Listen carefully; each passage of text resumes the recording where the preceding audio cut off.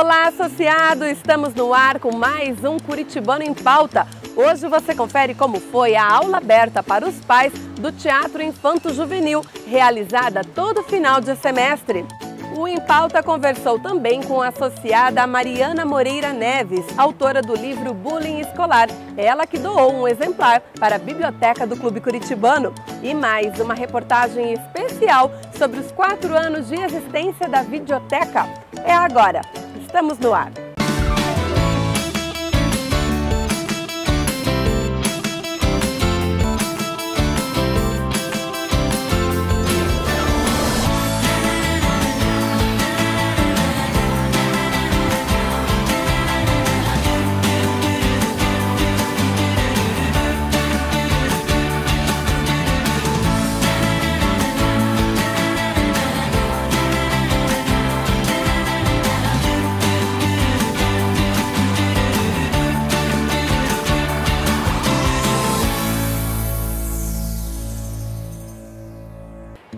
Gente assiste a uma peça, a um espetáculo, não imaginamos o quanto os atores se preparam.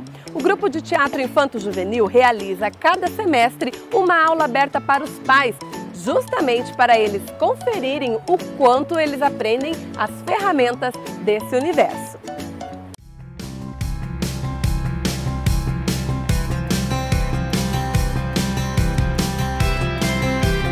No palco, 10 meninas de 9 a 15 anos aprendendo a ser atrizes. Na ribalta, o casal de professores atentos, comprometidos com a arte.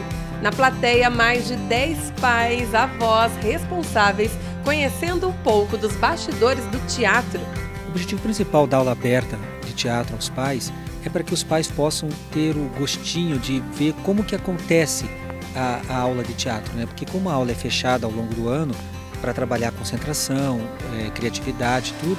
Então a gente abre no final do semestre uma aula para que os pais possam vivenciar esse momento e, e também para que os alunos possam ter esse acesso, esse primeiro contato com o público, o que é bom agora para quebrar um pouquinho esse gelo. Né? A aula aberta aos pais tem como objetivo principal apresentar a aula como ela é, no dia a dia, de forma simples.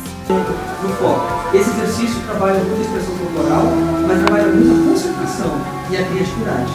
Primeiro tem um aquecimento corporal com alongamento, depois exercícios de concentração, aquela brincadeira antiga de estátua aqui é coisa séria. Número 1. Um. Na sequência, elas realizam um exercício de improvisação de cenas, desenvolvendo ainda mais a criatividade.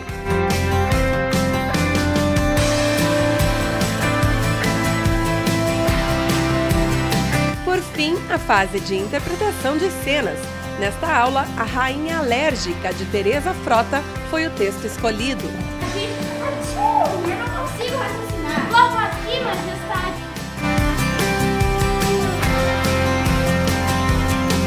E afinal, investir na arte ao menos duas horas por semana, levar e buscar, incentivar, tudo isso vale a pena mesmo? Eu achei maravilhoso. Eu, eu mesma fiz teatro quando eu estudava na escola americana e eu acho que desenvolve a criança, tira um, a pessoa fica mais segura, né? fica mais espontânea e é, é, um, é, é um crescimento para qualquer criança. Eu faço teatro porque gosto muito de ver filme, essas coisas. E é, eu achei essa aula bem legal porque as pessoas podem ver.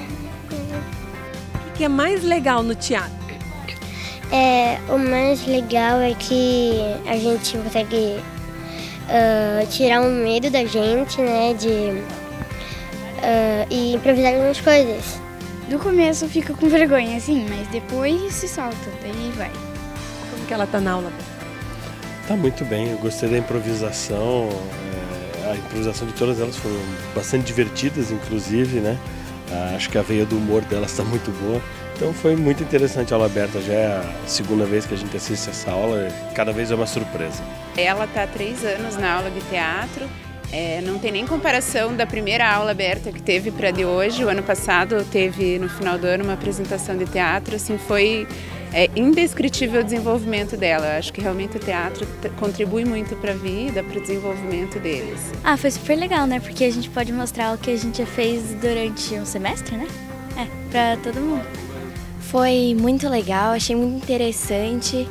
É, eu já apresentei para outros públicos, só que em escola, nunca para um teatro, mas eu acho que foi bem interessante, foi bem legal. Eu acho muito importante para a aprendizagem delas, né, tanto para a escola como para o futuro delas. Elas trabalham disciplina, responsabilidade, foco em concentração e isso é muito importante para a vida. Foi muito legal, achei que elas estavam muito boas e muito preparadas.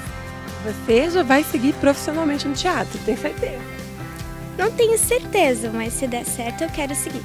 Mas para quem realmente busca seguir na carreira de atriz ou ator, é necessário alguns requisitos fundamentais para o sucesso, como em qualquer outra profissão. Eu acho que primeiro o amor pelo teatro, em seguida eu acho que tem que ser uma pessoa com uma boa concentração, saber trabalhar em equipe, saber trabalhar as suas vaidades também, né?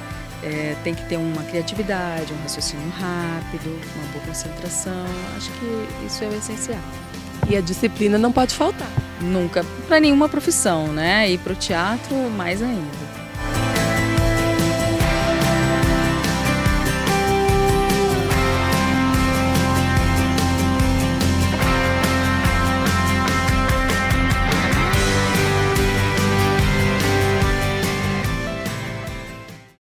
Parabéns aos professores, aos alunos, aos pais e responsáveis, cada um fazendo a sua parte.